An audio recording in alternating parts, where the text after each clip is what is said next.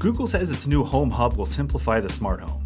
Thanks to Google Assistant, two microphones, a speaker, and a screen, we might finally have the gadget that makes it easy to control all of your connected devices, either with your voice, your fingers, or the intuition of an artificially intelligent computer.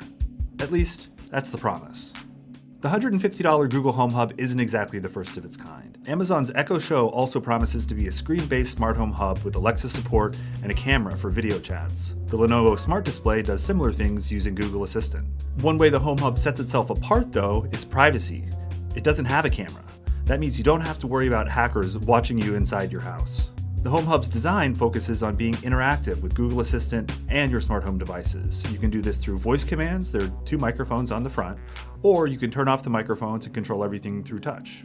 So the Home Hub seems more like an intuitive console than other home assistants.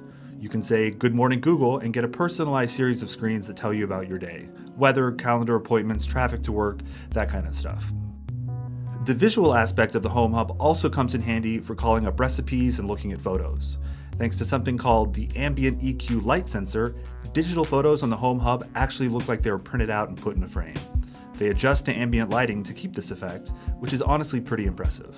But the way the Home Hub deals with connected devices is what's most interesting to me. There's one view to see all your connected devices in one place, so from one screen you can control your TV, your lights, your thermostat, your smart lock, whatever you got connected to the Home Hub is supposed to be accessible from this simple menu, no phone, no tablet.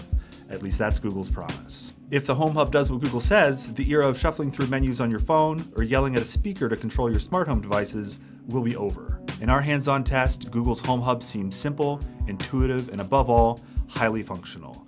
Could this gadget solve the problem of the convoluted, confusing smart home? We're going to do a full review to find out.